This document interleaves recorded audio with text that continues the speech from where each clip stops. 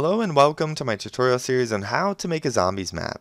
In this video we'll be going over reflections. They're very simple to do but you need to do them that way you get rid of the red and all of that stuff and it'll just make your map uh, do what it's supposed to do. So to add a reflection probe all you have to do is right click, go to reflection probe. Every map should at least have one of these and what we're going to do is we're just going to line it up center in the map and then pull it right below our light. As you can see here we got a light up top and the reflection probe. Now this reflection probe will see everything so it's good to have it where it can see everything. If there's an area where it can't see everything, you need to add more. So what we'll do then is we'll just hit Control S and I'll bring up the launcher now. And as you can see, when we build this, again we were compiling the reflections, I'll hit compile and show you what it does. So give it a few moments for it to compile. It's going to bring up the first window and usually the second window is black, uh, but now there we go. As you can see, it's actually showing everything that the reflection probe sees, which pretty much just builds a reflection of all of that and uh, pre-renders it and stuff like that.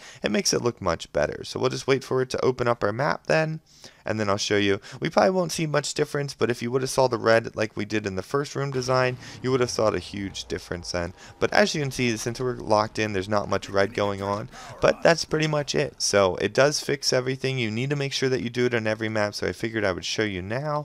And yeah, I'll see you guys in the next tutorial. Until then though, be sure to click the subscribe button, check out the playlist and watch all the other videos. And if you would like to, you can click the support button on my YouTube channel and send me some love. I'll see you guys in the next tutorial.